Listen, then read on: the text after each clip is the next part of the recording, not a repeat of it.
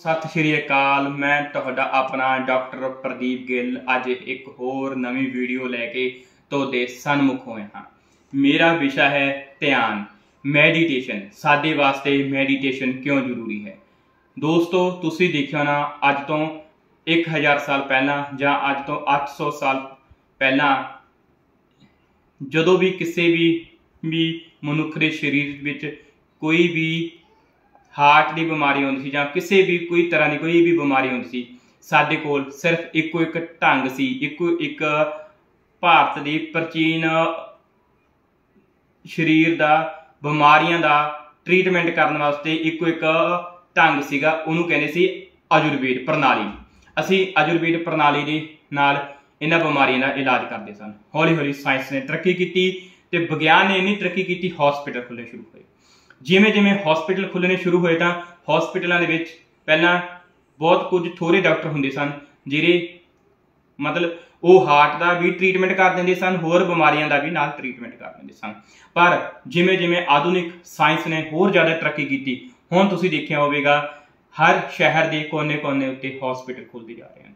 ਤੁਸੀਂ ਅੱਜ ਤੋਂ ਕੁਝ 200 300 ਸਾਲ ਪਹਿਲਾਂ ਜਦੋਂ ਧਿਆਨ ਮਾਰੋ ਤਾਂ ਸਾਡੇ ਕੋਲ ਕਿੰਨੇ ਹਸਪੀਟਲ ਸਨ ਅੱਜ ਸਾਡੇ ਕੋਲ ਹਰੇਕ ਸ਼ਹਿਰ ਦੇ ਦੇ ਵੱਖ-ਵੱਖ ਥਾਵਾਂ ਦੇ ਉੱਪਰ ਹਸਪੀਟਲ ਖੁੱਲ ਚੁੱਕੇ ਹਨ। ਇਹਨਾਂ ਹਸਪੀਟਲਾਂ ਦੇ ਵਿੱਚੋਂ ਇੱਕ ਹੈਰਾਨੀ ਦੀ ਗੱਲ ਹੈ ਕਿ ਜਿੰਨੇ ਸਾਡੇ ਸਰੀਰ ਦੇ ਪਾਰਟ ਹਨ, ਉਹਨਾਂ ਦੇ ਹਰੇਕ ਤਰ੍ਹਾਂ ਦਾ ਡਾਕਟਰ ਵੱਖਰਾ ਹੋ ਗਿਆ। ਹਾਰਟ ਦਾ ਡਾਕਟਰ ਉਹ ਵੱਖਰਾ। ਹਰ, ਹਰੇਕ ਬਿਮਾਰੀ ਦਾ ਡਾਕਟਰ ਵੱਖਰਾ ਹੋ ਗਿਆ। ਪਰ ਜੇਕਰ ਅਸੀਂ ਬਿਮਾਰੀਆਂ ਤੋਂ ਦੂਰ ਰਹਿਣਾ ਚਾਹੁੰਦੇ ਹਾਂ, ਜੇਕਰ ਅਸੀਂ ਸਿਹਤਮੰਦ ਰਹਿਣਾ ਚਾਹੁੰਦੇ ਹਾਂ, ਅਸੀਂ ਤੁਹਾਨੂੰ ਅੱਜ ਕੁਝ ਇਸ ਤਰ੍ਹਾਂ ਦੀਆਂ ਗੱਲਾਂ ਤੁਹਾਡੇ ਨਾਲ ਸਾਹਮਣੇ ਰੱਖਾਂਗੇ। ਜੇਕਰ ਤੁਸੀਂ ਸਾਡੀਆਂ ਦੱਸੇ ਹੋਏ ਢੰਗ ਦੇ ਉੱਤੇ ਚੱਲਦੇ ਹੋ, ਤਾਂ ਤੁਹਾਡੀ ਸਿਹਤ ਬਿਲਕੁਲ ਠੀਕ ਹੋ ਜਾਵੇਗੀ ਅਤੇ ਤੁਹਾਨੂੰ ਕੋਈ ਵੀ ਬਿਮਾਰੀ ਨਹੀਂ ਰਹੇਗੀ। ਦੋਸਤੋ, ਸਭ ਤੋਂ ਪਹਿਲਾਂ ਰਾਤ ਨੂੰ ਜ਼ਿਆਦਾ ਦੇਰ ਤੱਕ ਨਾ ਜਾਗੋ। ਸਮੇਂ ਦੇ ਉੱਤੇ ਸੌਂ ਜਾਓ ਅਤੇ ਸਵੇਰੇ ਸੂਰਜ ਨਿਕਲ ਤੋਂ ਪਹਿਲਾਂ ਆਪਣਾ ਬਿਸਤਰਾ ਛੱਡ ਦਿਓ। ਦੋਸਤੋ, ਨੰਬਰ 2 ਤੇ ਹੈ ਕਿ ਸੈਰ।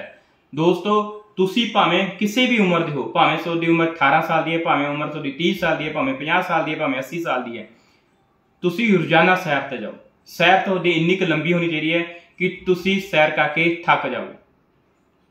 ਜਦੋਂ ਤੁਸੀਂ ਤੁਹਾਡਾ ਸਰੀਰ ਸੈਰ ਕਰਕੇ ਥੱਕ ਜਾਂਦਾ ਹੈ ਤਾਂ ਤੁਸੀਂ ਇੱਕ ਜਗ੍ਹਾ ਦੇ ਉੱਪਰ ਜਿੱਥੇ ਸ਼ਾਂਤੀ ਹੋਵੇ, ਬਹੁਤ ਜ਼ਿਆਦਾ ਕਿਸਮ ਦਾ ਰੌਲਾ ਨਾ ਹੋਵੇ ਉੱਥੇ ਬੈਠ ਜਾਓ।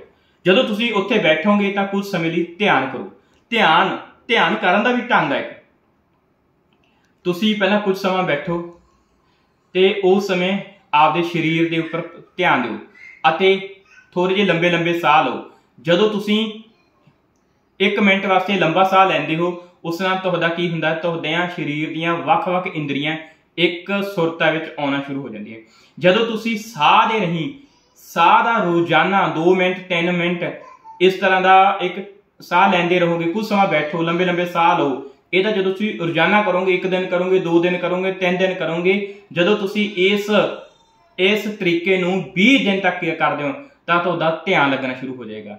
ਫਿਰ ਤੁਹਾਡੇ ਨਾਲ ਤੁਹਾਡੇ ਸਰੀਰ ਦੀਆਂ ਬਹੁਤ ਸਾਰੀ ਬਿਮਾਰੀਆਂ ਤੁਹਾਡੇ ਸਰੀਰ ਦੇ ਵਿੱਚੋਂ ਆਪਣੇ ਆਪ ਹੀ ਖਤਮ ਹੋਣੀਆਂ ਸ਼ੁਰੂ ਹੋ ਜਾਣਗੀਆਂ। ਪਹਿਲੇ ਨੰਬਰ ਤੇ ਆ ਕਿ ਤੁਸੀਂ ਸਵੇਰੇ ਸੂਰਜ ਨਿਕਲਣ ਤੋਂ ਪਹਿਲਾਂ ਆਪਣਾ ਬਿਸਤਰਾ ਛੱਡ ਦਿਓ ਨੰਬਰ 2 ਤੇ ਹੈਗਾ, ਸੈਰ ਤੇ ਜਾਓ, ਨੰਬਰ 3 ਤੇ ਧਿਆਨ ਕਰੋ। ਧਿਆਨ ਇੱਕ ਜਿਹੀ ਪद्धਤੀ ਹੈ, ਜਿਸ ਨਾਲ ਤੁਸੀਂ ਆਪਦੇ ਸਰੀਰ ਦੀਆਂ ਬਿਮਾਰੀਆਂ ਨਹੀਂ, ਆਪਣੇ ਬਹੁਤ ਸਾਰੀਆਂ ਜਿਹੜੀਆਂ ਤੁਹਾਡੀਆਂ ਹੋਰ ਅਜਿਹੀਆਂ ਆਦਤਾਂ ਆਦਤਾਂ ਲੱਗੀਆਂ ਹੋਈਆਂ, ਜਿਹੜੀਆਂ ਤੁਹਾਡੇ ਜੀਵਨ ਨੂੰ ਖਰਾਬ ਕਰ ਰਹੀਆਂ ਹਨ। ਧਿਆਨ ਦੇ ਨਾਲ ਬਹੁਤ ਸਾਰੀਆਂ ਇਹੋ ਜਿਹੀਆਂ ਆਦਤਾਂ ਵੀ ਤੁਹਾਡੇ ਤੋਂ ਦੂਰ ਹੋ ਜਾਣਗੀਆਂ ਦੋਸਤੋ, ਇੱਕ ਤੁਹਾਨੂੰ ਧਿਆਨ ਕਰਨ ਦਾ ਇੱਕ ਹੋਰ ਤਰੀਕਾ ਦੱਸਦੇ ਆ ਜੇਕਰ ਤੁਸੀਂ ਕਿਤੇ ਵੀ ਲੰਬੀ ਸੈਰ ਤੇ ਨਹੀਂ ਗਏ, ਤਾਂ ਤੁਸੀਂ ਜਿੱਥੇ ਰਹਿੰਦੇ ਹੋ, ਉੱਥੇ ਤੁਸੀਂ 2-4 ਜਾਂ ਤੁਸੀਂ ਕੁਝ ਮਿੰਟ ਲਈ ਉੱਥੇ ਬੈਠ ਜਾਓ। ਉੱਥੇ ਆਪਣੇ ਆਪ ਨੂੰ ਦੇਖੋ ਤੇ ਆਪਣੇ ਆਪ ਨੂੰ ਆਰਾਮ ਦੇ ਨਾਲ ਆਪਣੇ ਸਰੀਰ ਦੇ ਇੱਕ ਇੱਕ ਅੰਗ ਨੂੰ ਦੇਖੋ ਕਿ ਤੁਹਾਡਾ ਬ੍ਰੇਨ ਕਿਵੇਂ ਕੰਮ ਕਰ ਰਿਹਾ ਹੈ, ਤੁਹਾਡਾ ਹਾਰਟ ਕਿਵੇਂ ਵਰਕ ਕਰ ਰਿਹਾ ਹੈ। ਜਦੋਂ ਤੁਸੀਂ 10 ਮਿੰਟ ਆਪਦੇ ਉੱਪਰ ਧਿਆਨ ਦਿਓਗੇ ਤਾਂ ਤੁਹਾਡਾ ਧਿਆਨ ਇੱਕ ਥਾਂ ਤੇ ਕੇਂਦਰਿਤ ਹੋਣਾ ਸ਼ੁਰੂ ਹੋ ਜਾਏਗਾ। ਇਸ ਨਾਲ ਜਿਹੜੀਆਂ ਤੁਹਾਨੂੰ ਨੂੰ ਬਹੁਤ ਸਾਰੀਆਂ ਦਿਮਾਗੀ ਬਿਮਾਰੀਆਂ ਹਨ ਉਹ ਦੂਰ ਹੁੰਦੀਆਂ ਦੋਸਤੋ ਅੱਜ ਕੱਲ ਇੱਕ ਹੋਰ ਚੀਜ਼ ਦੇਖੀ ਹੈ। ਅੱਜ ਹਰੇਕ ਬੰਦਾ ਦੂਜਾ ਤੀਜਾ ਬੰਦਾ ਕਹਿ ਦਿੰਦਾ ਜੀ, ਮੈਨੂੰ ਰਾਤ ਨੂੰ ਨੀਂਦ ਨਹੀਂ ਆਉਂਦੀ। ਜੀ, ਮੈਨੂੰ ਮੈਨੂੰ ਮੇਰੀ ਪਰਿਵਾਰ ਨੂੰ ਲੈ ਕੇ ਜਾਂ ਮੇਰੀ ਇਸ ਚੀਜ਼ ਨੂੰ ਲੈ ਕੇ ਮੇਰੇ ਦਿਮਾਗ ਦੇ ਉੱਪਰ ਬਹੁਤ ਸਾਰੀਆਂ ਟੈਨਸ਼ਨਾਂ ਤੇ ਬੋਝ ਨੂੰ ਦੂਰ ਕਰਨ ਲਈ, ਸਰੀਰ ਨੂੰ ਹਲਕਾ ਕਰਨ ਵਾਸਤੇ ਸਭ ਤੋਂ ਵਧੀਆ ਚੀਜ਼ ਹੈ ਮੈਡੀਟੇਸ਼ਨ।